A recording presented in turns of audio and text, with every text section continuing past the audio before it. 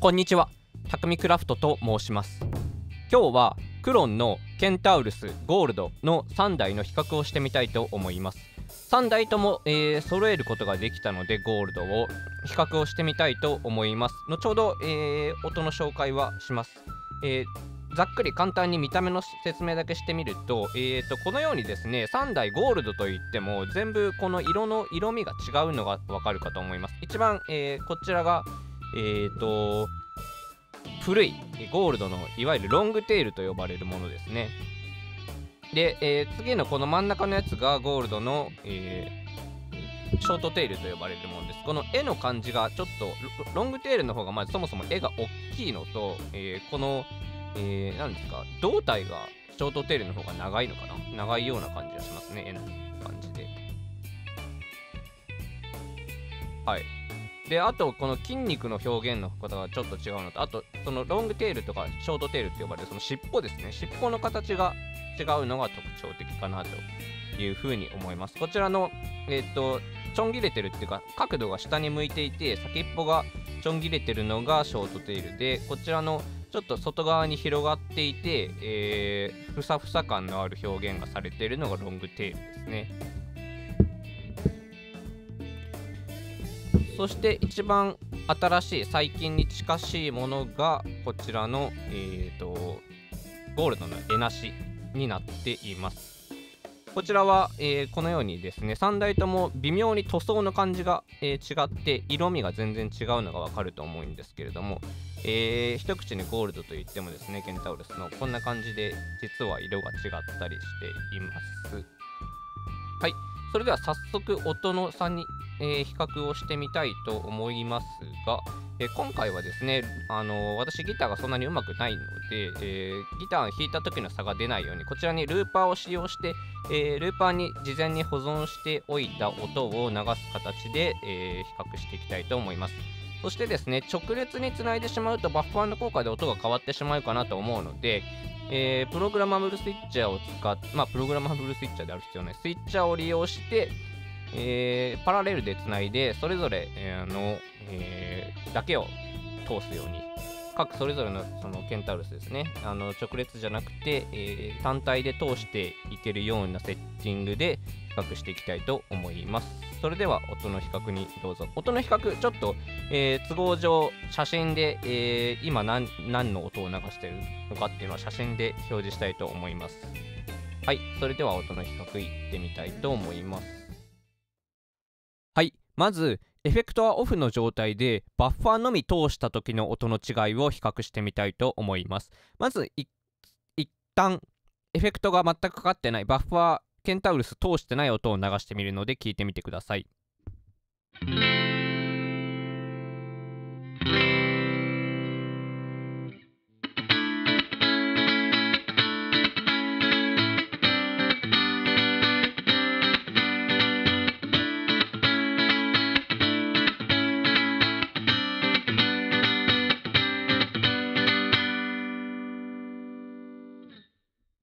はい、こんな感じになります。それでは早速、まず絵なしからいってみたいと思います。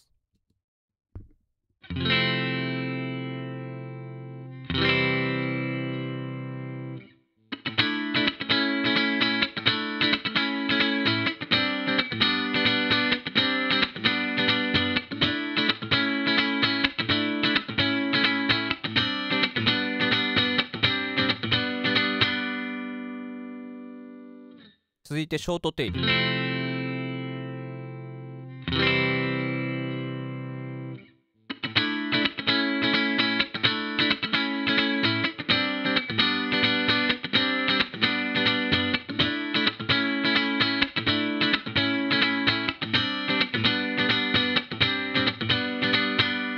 続いてロングテール。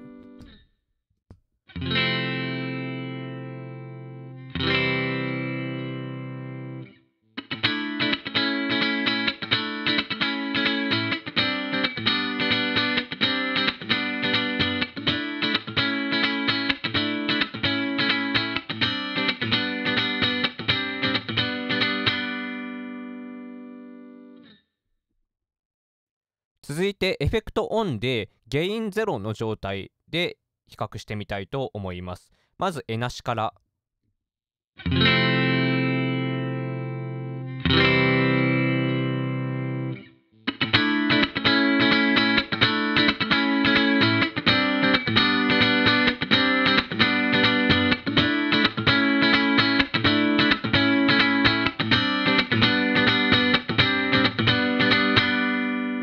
てショートテイル。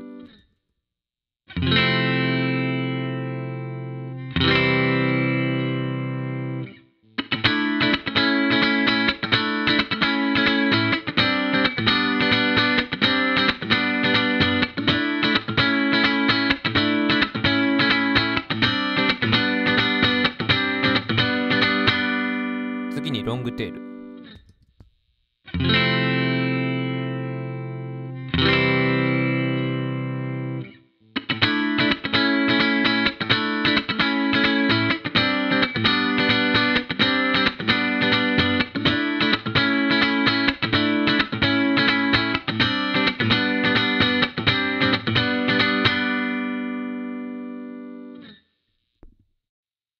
続いてもう少し原因を上げて原因11時くらいで比較してみたいと思います。まずエナシから。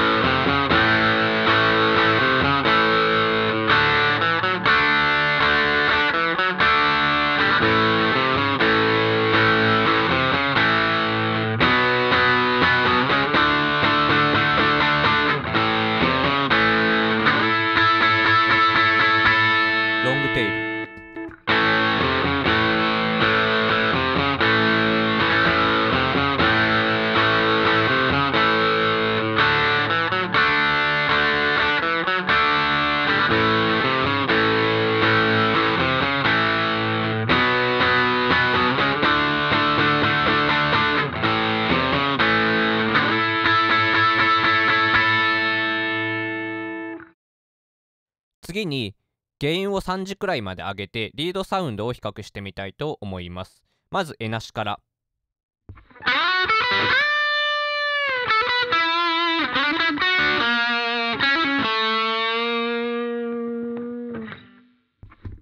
次にショートテイル。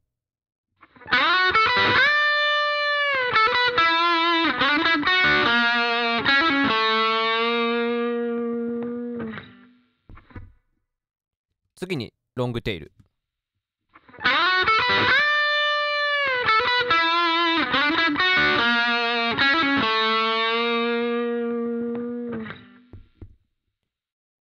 次にクランチに設定したアンプでブースターとして使用した場合の比較をしてみたいと思います。セッティングはですねゲインが、え9時ぐらいそしてトレブルが12時でアウトプットが3時でアウトプット上げ目の設定になっています。まずケンタウルスのブーストなしの状態でちょっと聞いてみてください。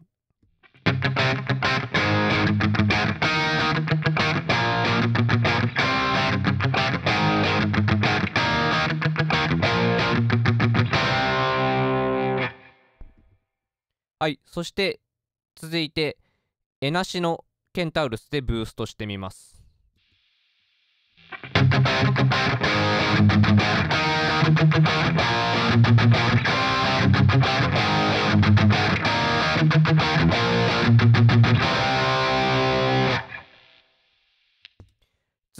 ショートテールのケンタウルス。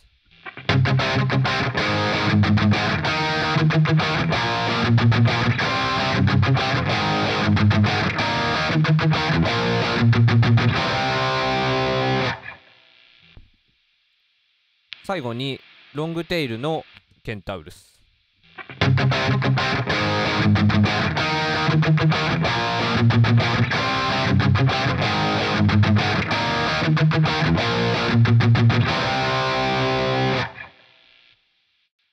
はいそれでは最後にもう少し原因を上げて原因12時トレブル11時アウトプット最大でケンタウルスでブーストしたハイゲインリードの音を比較してみたいと思います。まずエナシのケンタウルスから。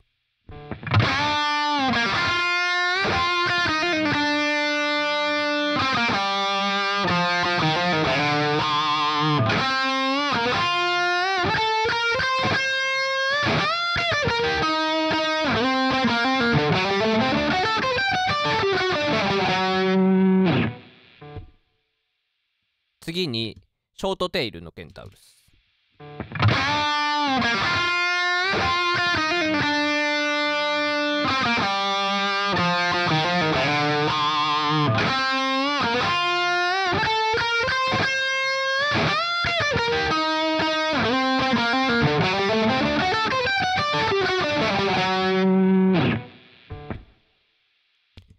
ロングテイルのケンタウルス。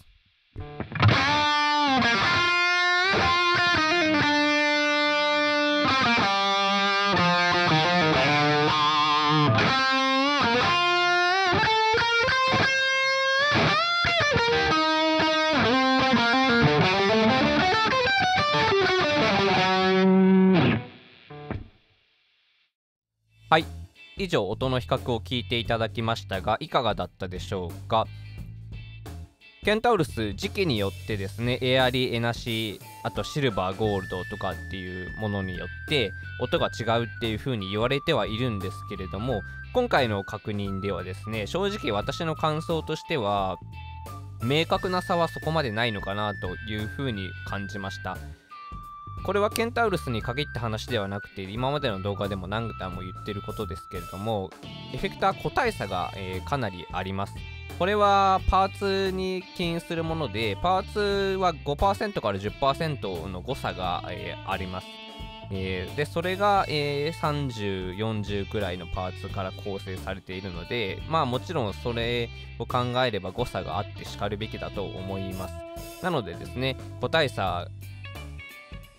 の、えー、くらいの違いなのかなというふうに個人的には思いました。ただしですねエフェクターケンタウルスはマニアの方がいて日夜研究が進んで雑誌なんかで特集組まれたりとかっていうことはされてるのでそこの、えー、に書かれていることなんかも参考にしてもらいながら、えー、ケンタウルスの良ければ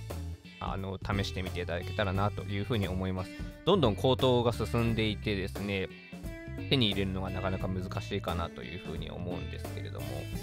まあそうですね。私もお金に困らなければこのまま持っていたいと思いますがまた他のエフェクターを買うために売ってしまうかもしれません。はい。